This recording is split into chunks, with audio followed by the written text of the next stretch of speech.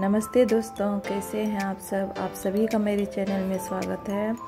और आज संडे है तो आज ये एक स्पेशल ब्लॉग है तो प्लीज़ प्लीज़ जो भी कोई वीडियो मेरे देखेंगे तो लास्ट तक आप ज़रूर देखिएगा। और अभी आज ही सोई हुई है, उसे मैं बहुत जगाने की कोशिश कर रही हूँ, लेकिन वो नहीं उठ रही है। और अभी सुबह थोड़ी, यानी कि हल्की ठंडी अभी भी सुबह लगती है तो इसीलिए मैं भी कम्बल भी नहीं रखी हूँ और दो चार दिन के बाद इसे मैं धो के फिर मैं रखूँगी। और देखिए कितनी गहरी नींद में ये सोई हुई है, मैं कितने इसे आवाज़ दे रही हूँ।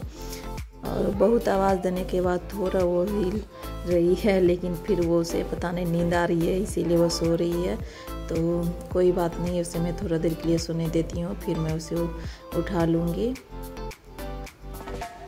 अब अभी मैं सुबह का नाश्ता बना रही हूँ और ये थोड़ा रात का चावल बच गया था तो उसे मैं अभी भून ली हूँ और अभी नाश्ते में मैं बना रही हूँ आलू और परवल का भुजिया।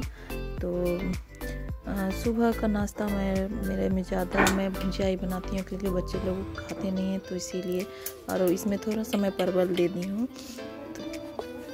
और रोटी मैं बनाऊँगी तो भुजिया सिंपल मैं बना रही हूँ। बस, थोड़ा इसे और कम तेल ही मैं बना रही हूँ, क्योंकि ज़्यादा तेल भी तो सेहत के लिए अच्छा नहीं होता है तो कम ही तेल में मैं इसे बना रही हूँ। इसमें हल्दी डाल दी हूँ और इसमें नमक भी हल्का डालूँगी और कोई मसाला भी इसमें मैं नहीं डाल रही हूँ आज। तो सिंपल ही बना रही हूँ।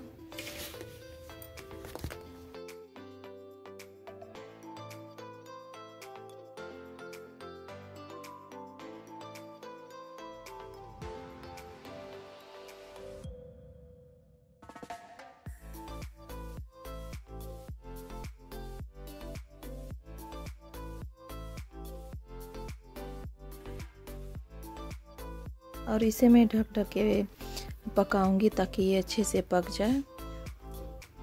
और देखिए, इसमें बिल्कुल भी मैं तेल ज़्यादा नहीं डाली हूँ। बहुत ही कम मात्रा में मैं इसे तेल डाली हूँ और इसे मैं ढक ढक के पका रही हूँ ताकि ये अच्छे से पक जाए।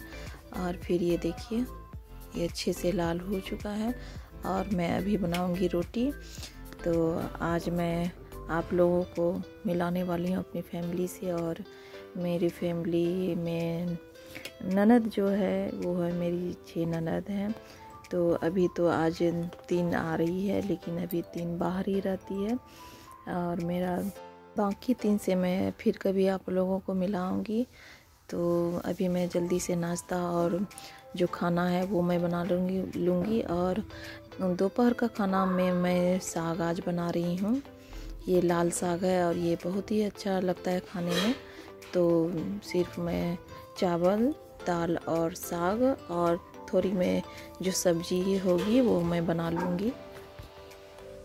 ये साग खेत का है, इसमें बहुत ज़्यादा मिट्टी थी तो इसे मैं दो तीन बाल्टी से बहुत अच्छे से धोई हूँ और देखिए लास्ट बार ये कितने साफ़ पानी से मैं धो रही हूँ। और घर का साग है, यानी कि बगल में ही बेचती है। खेत है हम लोग के घर के पास तो वहीं से मेरे हस्बैंड ने ये साग लाए हैं। तो ये बहुत टेस्टी लगता है खाने में। और यहाँ देखिए, इधर मैं चावल और दाल चढ़ा दी हूँ। तो ये मेरा दोपहर का खाना बन जाएगा। और सब्ज़ी अभी क्या बनता है, वो पता नहीं। देखती हूँ मैं क्या बनाती हूँ। और अभी देखिए, हम लोग आए हैं बगीचे थोड़ा घूमने के लिए। और जितने भी मेरे जो फैमिली आए हैं हमसे मिलने के लिए तो उनका खाना पीना हो चुका है। और ये देखिए टमाटर कितने अच्छे से पक गए हैं। और ये ये भी टमाटर का ही छोटा छोटा पेड़ है। और देखिए इसमें तो जो छोटे छोटे टमाटर है, वो अभी कच्चे हैं। और ये देखिए करेले हैं। ये करेला एक साल पहले का पेड़ है, लेकिन जो पुराने वाले इसमें जो पेड़ हैं, वो थोड़ा सूख चुके हैं और जो नए पत्ते इसमें निकले हैं, उसमें बहुत सारे इसमें करेले आए हैं। और अभी सब आ गए हैं यहाँ पे बगीचे में घूमने के लिए।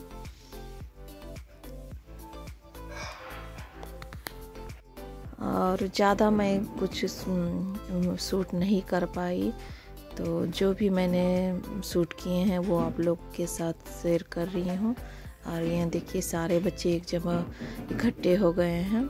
और ये देखिए कितने सारे इसमें करेले आए हैं। छोटे छोटे बहुत सारे इसमें करेले आ गए हैं।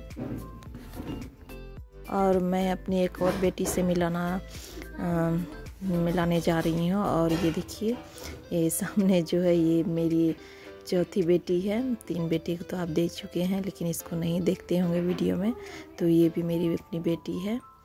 और ये है मेरी बड़ी ननद। ये सबसे बड़ी है और ये मेरी छोटी वाली ननद है। और उनके बच्चे भी आए हैं। तो फैमिली जब घर पे साथ रहते हैं तो बहुत ही अच्छा लगता है और आसी देखिए आज बहुत बड़ा फ्रॉक पहन ली है और ये मेरी बेटी है, इसका नाम साक्षी है और ये अपने बड़ी बुआ के पास ही रहती है। कम से कम एक साल से। और ये देखिए, ये है मेरी, ये मंजली ननद।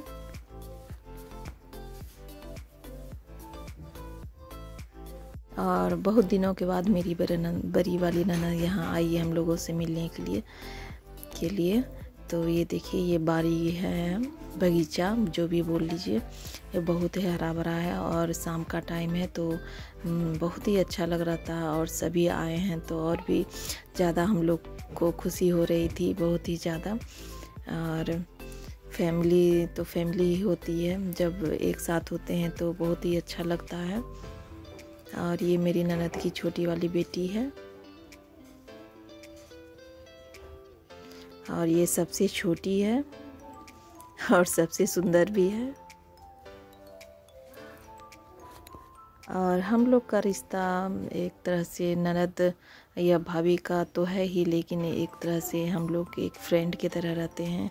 और एक तरह सिस्टर समझ लीजिए, बहन की तरह बहुत ही हम लोग में आपसी बहुत ही अच्छा बाउंड्री है हम लोगों के बीच में, बहुत ही अच्छी बहुत ही हम लोग को मानते भी हैं।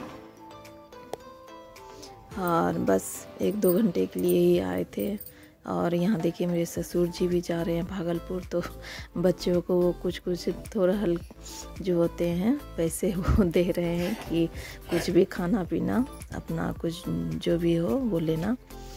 और अभी मेरी ननद सब जा रही है तो जब आए थे तो बहुत ही घर मेरा हरा भरा लग रहा था बहुत ही अच्छा लग रहा था और अभी ये लोग जा रही है तो बहुत अच्छा नहीं लग रहा है बिल्कुल भी।